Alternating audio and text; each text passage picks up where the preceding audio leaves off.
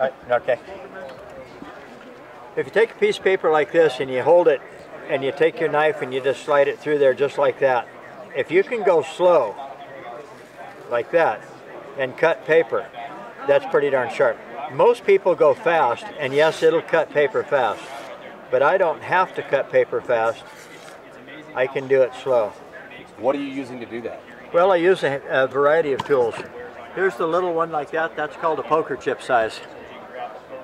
Then I have one like this called the long handle. Then we have the newest one, wherever it went. This is called Spark and Sharp. Spark and Sharp is kind of unique because we unscrew the handle and you have the magnesium in the handle. And it does throw a spark.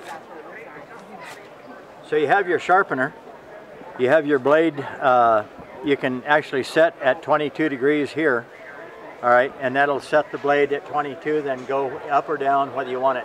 Sharper would be thinner, and then tough would be above 22. That screws right into the handle. This is the newest, I call it family member. So if you have the whole family, you've got those, that one, and this one. You can either cut the little keychain off, so it's like that, put it in your pocket, or leave it on your keys, or carry this one flat, right down in your pocket. And this isn't just knives, right? No, it's not knives. There's 43 different things that I can sharpen with this. So anything that has a blade, except for lawnmowers, uh, uh, saw blades, and um, drill bits. So all of your serrated edge blades like this, so simply done by making a pivot out of your thumbs and go sideways just like that.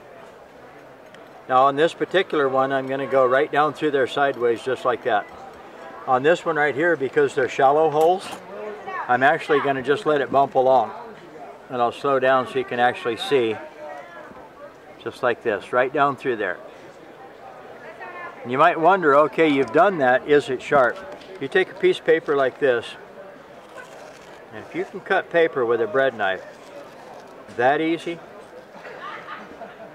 that knife's incredibly sharp. So what do you think of my goofy looking scissors? You might think those are pruners. There you go, yeah, pheasant and stuff like that. If you can actually make your pruners cut like this, even when they have that much gap, that's pretty good accomplishment. So what you do here is you just slide the handy sharp right up the blade. I use the corners. There's a corner right there, corner right there, 90 degree corners. If that was flat and you grind it 90 degrees, you end up with these two corners. You take the corners, put it on the blade, and brush this way. Then you do this, and then flat on that side, and you end up with pruners that think they're scissors. So it brings a new meaning to lifetime tools. That's right. Because you know what? If you can actually sharpen this tool, you're going to use it and use it and use it. In fact is, five years down the road, see how much of that blade's missing? That blade used to be clear over there. And in five years, sharpening it 100 times a day, two days a week, that's how much I've taken off that blade. So any blade, any configuration, any hardness of blade, all your scissors, your pruners, your hedge trimmers, grass trimmers, side dikes, tin snips, and scissors are this simple. You're going to look at scissors, you're going to find they're beveled. Tip the bevel over flat to the table. Set that on there like this and brush out. If that's a little too flexible, set it on the table and do it this way. Turn it over, make one flat pass, do it again here, one flat pass.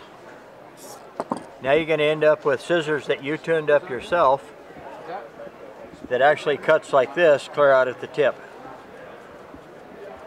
It actually kicks the paper out of the way. That's sharp.